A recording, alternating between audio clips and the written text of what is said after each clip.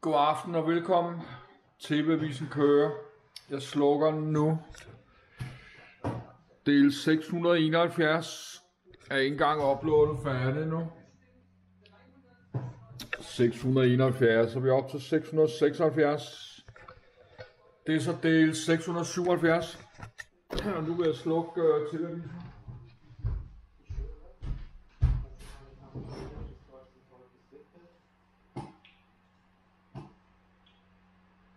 Jeg har ligget og set øh, Netflix en lille smule.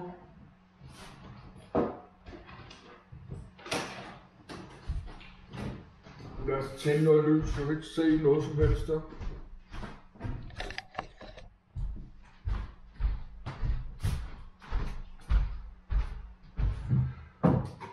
Yes, jeg fik endelig en lille pause.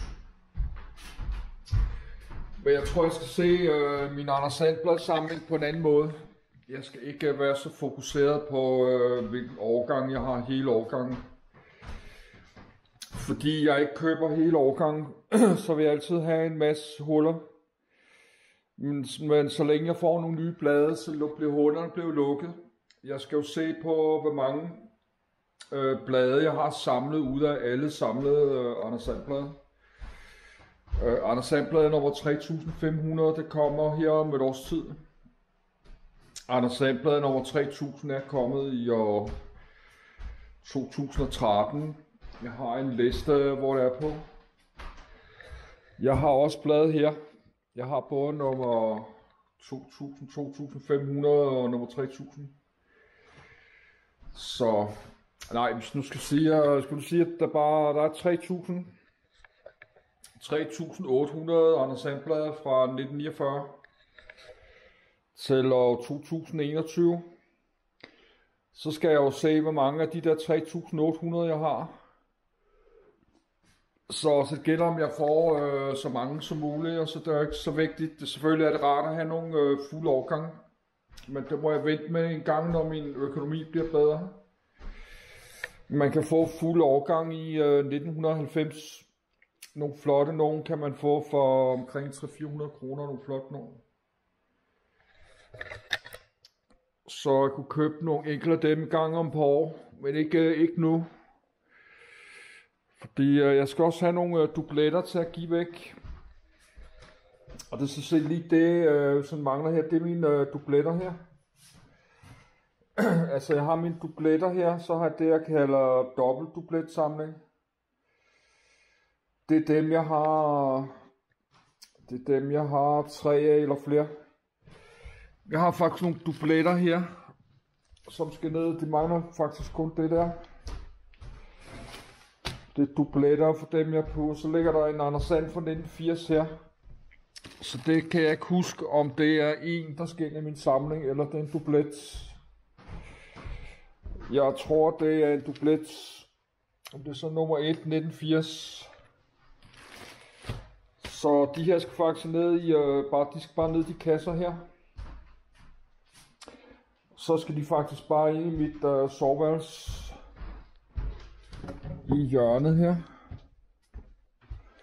Jeg skal selvfølgelig ikke stå der i stuen. Så har jeg de der såkaldte øh, dobbeltdubletter. Det er dem, jeg har tre eller fire eller tre eller mere. Der nogen, har jeg fem af ens. Det her er en rodekasse med ting den der super ekstra skal ned, og her vi gider ikke at rode med. Lad os finde øh, uh, 1980. Skal lige finde ud af, om det er en dublet, eller det er en, jeg mangler. Jeg tror, det er en uh, dublet. 1980. Den ligger så hen i bunden selvfølgelig. Så 83.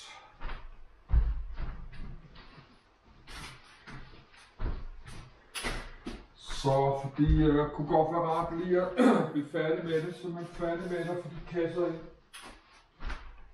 Så jeg kan få en pause en måned, tre uger med den måned.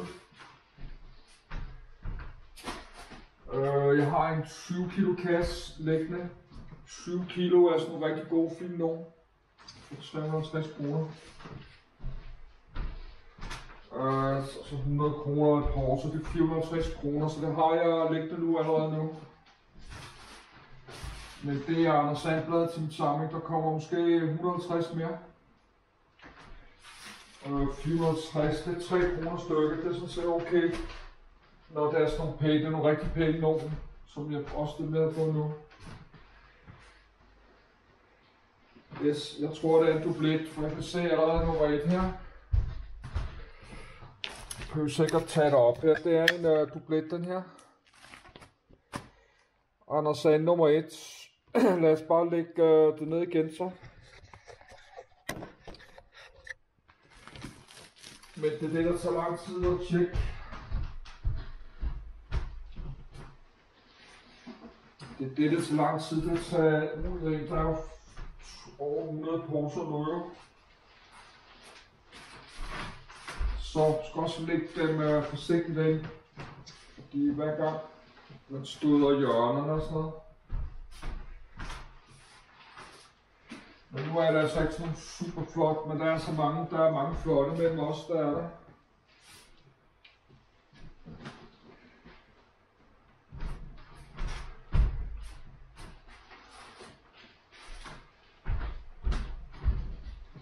Så nu kan jeg ikke huske, hvor de der dobbeltdupletter ligger hen. Og de ligger derinde i Thomas. sovmands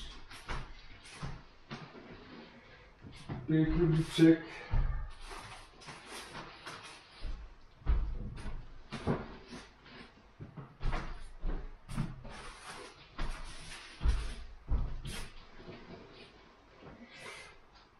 Nej, jeg, jeg er på førtidspension. Øh, jeg kan lige starte sådan en uh, tegneserieforretning på Blå Aviser.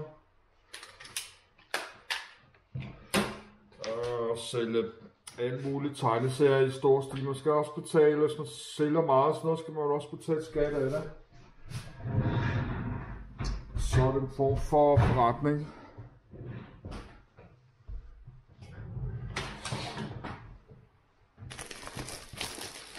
Hvordan man skal regne det ud jo. Det er jo ikke, uh, så sælger en overgang, Anders Sand for 300 kroner, jamen så er det jo ikke, uh, det er jo ikke indtægt det hele. Jeg har også givet nogle penge for dem. Jeg har jo givet penge for de der. Så skal man jo regne ud for tjeneste og sådan noget. Og det er så dubletter, de skal sådan set bare blandes op. Nu til at lægge dem i orden her, det er 76. Jeg er nødt til at bare lægge dem lige i årstal.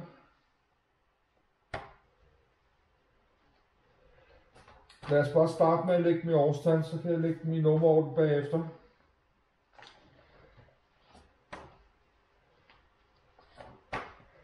Der er mange for 70'erne her. Der er så også nogle pæne nogle men.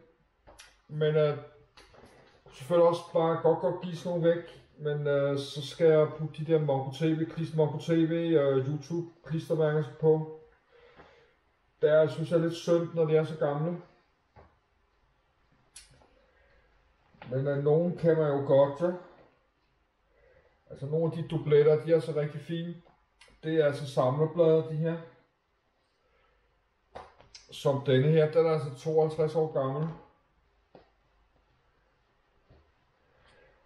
Og så en masse fra 19, 1970 dubletter her. 1980 her. Så prøv at lægge dem i orden her. 6, 6, 31, 5, 23, 26 og 28, 34, 36, 48, 41, 42, så er der altså lige pludselig mange, rigtig mange dubletter fra 1970 og 47.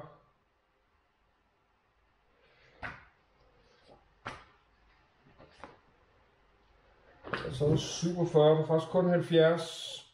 Så er der 76. Der er faktisk kun 1970 og øh, 78. Nej, det skal så ikke der. Det er så 76, 78 og 1980. Der er faktisk øh, kun dem. Så skal jeg ned her. Så må jeg så lige hente øh, sådan en skamme.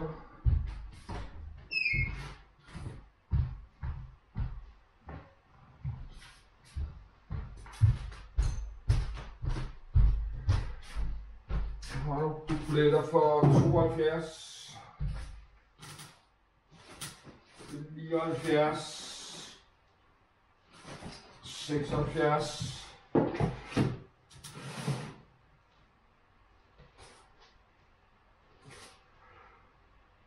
1975. Jeg skal nok nødt til bare lige at tage dem op her. 74. Og så en masse dubletter 72.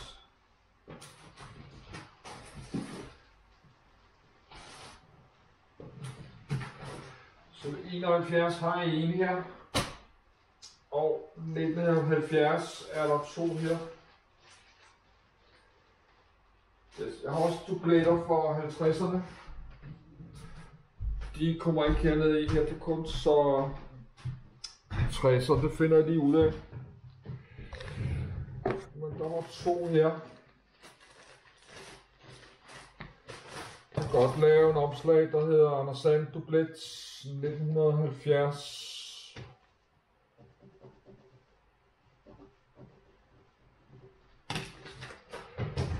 Lad os få den her nummer 5. Så har den her her, så tager jeg den øh, pæneste. Den 44 har vi ikke her. Og 28, den er der her. Så dem har jeg tre. Den ser ud som om, at den er pænere, den her. Men den er så også lige, den er reddet af her. Denne her er der hul i. Så den kommer automatisk øh, fra minibytteren lige ud.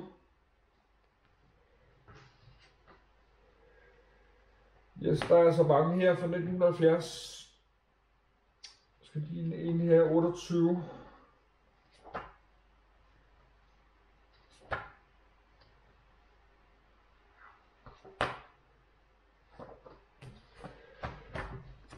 Yes, det er min uh, dublet samling. Det er dem, jeg har to af her.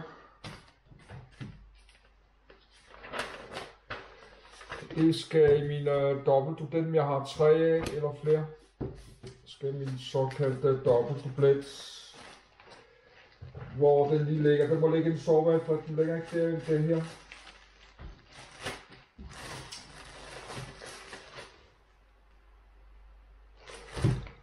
Nu der er et eller andet, hvor blev de af? Jeg havde et par stykker her. Jeg tror simpelthen, jeg kom til at gøre en eller anden mærkeligt nu, fordi jeg er træt. Der var nogen fra 76-78 her. Jeg tror, jeg kom til at lægge mig i. 5 og 6, 23, 26.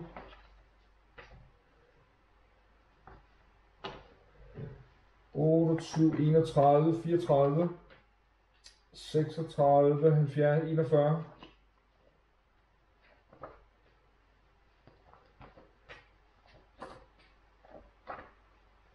Ja, så 76 og 78, 80, de skal jo køre hernede.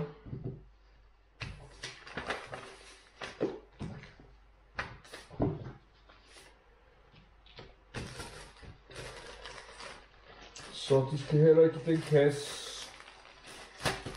Men af min dubletsamling vil jeg også bare vokse og vokse og vokse.